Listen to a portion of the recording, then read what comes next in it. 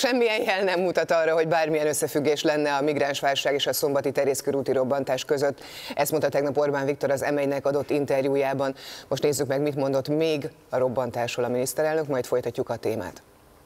Jeleket vesz észre a partnerén akkor mennyiben jellemző az, hogy aki erre hajlamos, elmebeteg vagy pszichopatikus, hogy bosszút álljon, és az milyen formában uh-huh. szokta megtenni? Igen, szóval, hogy, hogy lássuk, hogy, hogy ha, ha féltékenységről van szó, tegyük fel, beszéljünk akkor erről. Férfi rendőr ellen irányulhatott ez a személyes bosszú.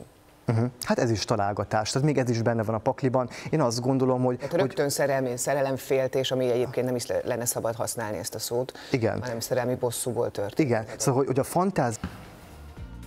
Közös, Közös csapat. csapat. Közös csapatban vagyunk, mind a kettő. Milyen, milyen műsorokat képzeljünk el? Hát én többféle. Típusú szórakoztatásra szükség van Magyarországon, tehát hogy ezt szeretik az emberek, de a Dáridó mennyiben fog megújulni például? Tehát én amennyire megújultam, 30-40 kilóval vagyok. Az jutott eszembe, hogy milyen vicces lesz magunkat visszanézni majd ezekben, mert rengetegszer voltunk Beletettem bele. 91-ben. Köszönjük szépen, és nagyon várjuk, tehát ez a Nebutik TV, és akkor hamarosan indul egy backstage és egy hagyományos, vagy hát Ádámtól megszokott formát.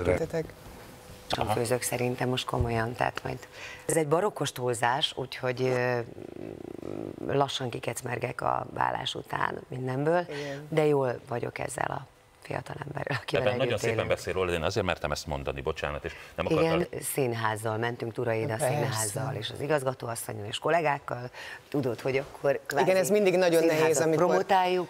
Pici magánéletet adjunk, pici bulvárt. Uh, tehát nekem ez belefér, itt egy egészen más típusú nőt mhm. láttok. Uh-huh. A, és a fiamat, amíg voltam iskolába, akkor pizsamába vittem, és fölvettem rá egy köntöt.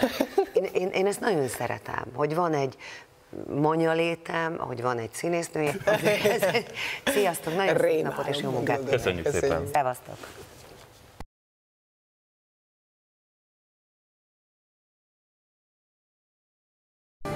Német Attila becenevén Atesz ritka, de annál izgalmasabb módot választott arra, hogy megtalálja a leendő párját, akivel egy bevásárló központban találkozott, de azóta sem találja. A Mokka most megpróbál Attilának segíteni. A részletekről vele beszélgetünk. Jó reggelt, szia, köszönjük egy pillanat. Mikor érezted, hogy elrontottad már azt, hogy Ab, nem szólítottad meg, amikor beültél a kocsiba, vagy Abban mikor? a pillanatban, ahogy elmentem mellette abban a pillanatban. Tehát én már akkor tudtam. De akkor, akkor még, még visszafordulhattál volna, azért kérdezem. Igen, visszafordultam volna, és még se tettem meg, és akkor már beültem az autóba, és akkor már éreztem, hogy ez, ez megint egy ilyen sorsfordító pillanat volt. Tehát vannak olyan emberek a, az életemben. Köszönjük, hogy itt Nagyon szépen köszönöm én is. Sziasztok!